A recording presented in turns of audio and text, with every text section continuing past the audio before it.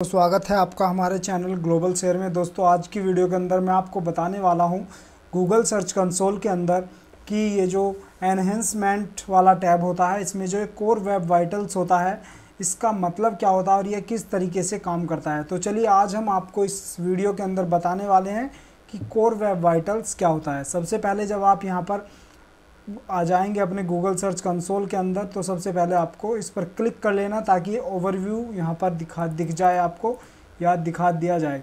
को Google search console पर जब आप आ जाएँगे तो सबसे पहले आप देखेंगे कि परफॉर्मेंस और इंडेक्स के बाद सबसे जो तीसरा टैब आता है, वो नीचे एनहेंसमेंट आता है। एनहेंसमेंट में सबसे पहला जो टैब है, वो है core web vitals core web vitals पर आपको क्लिक कर लेना हो यहाँ पर जो सोर्स निकल कर आ रहा है, मैं सबसे पहले आपको बहुत ज़रूरी चीज़ बता देता हूँ। जो कोर वेब वाइटल्स गूगल दिखाता है, वो सोर्स है इनका क्रोम यूएक्स रिपोर्ट यानी कि आप इसे ओपन करेंगे तो यहाँ पर आ जाएगा data for the report comes from the Chrome user experience report यहाँ पर जो डाटा आता है, वो क्रोम की यूज़र एक्सपीरियंस रिपोर्ट से आता है और this reflect this reflects actual usage data on your site from user around the world around the world यानी पूरे विश्व का जो डाटा आता है, वो यहाँ पर आपकी साइट के लिए आता है।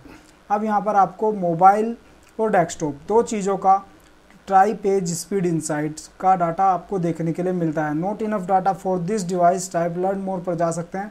अब यहाँ पर आप क्लिक करेंगे ट्राई पेज स्पीड इंसाइट पर तो आपको आपकी वेबसाइट के बारे में बता दिया जाएगा कि आपकी वेबसाइट जो है मोबाइल और डेस्कटॉप पर किस तरीके से जो है बिहेव करती है। तो यहाँ पर आपको try page insight speed insights पर क्लिक करना है। ये मोबाइल के लिए डाटा होता है। इसी तरीके से आपको नीचे डेस्कटॉप पर भी क्लिक कर देना ट्राई पेज स्पीड इंसाइट्स पर।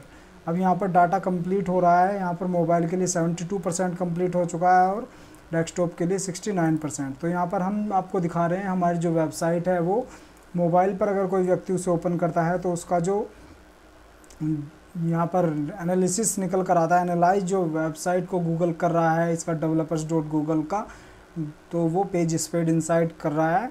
इसे 50 टू 89 परसेंट के बीच, यानी 50 से 89 के बीच 73 में आ रही है और 90 से 100 के बीच अगर आपकी वेबसाइट आती है तो बहुत ही अच्छा लाइट हाउस स्कोरिंग गाइड में उसको देखने के लिए मिलता है। यहाँ पर ये देखिए, आपकी वेबसाइट के रिज़ल्ट आपको दिख सकते हैं इस तरीके से, और आप इन्हें पूरा भी करके देख सकते हैं। तो ये हमारी वेबसाइट का रिव्यू इन्होंने दिखा दिया है कि इस तरीके से आपकी वेबसाइट दिख रही है। ऑडिट में यहाँ पर आप आ जाएँगे तो ऑडिट आदि बहुत सारी चीज़ें आपके सामने डायग्नोस्टिक निकल कर सामने आती है। अब इसी तरीके से डेस्कटॉप पर जाएँगे तो डेस्कटॉप पर 99 परसेंट यानी 99 सौ में से ये आप समझ सकते हैं कि सौ में से निन्यानवे नंबर हमारी वेबसाइट को गूगल की तरफ़ से दिए जा रहे हैं कि हमारी जो वेबसाइट है वो वेब जो है बहुत ही अच्छा रन कर रही है। 99 नंबर लेकर आ रही है हंड्रेड में से वेबसाइट जो है डेस्कटॉप के ऊपर।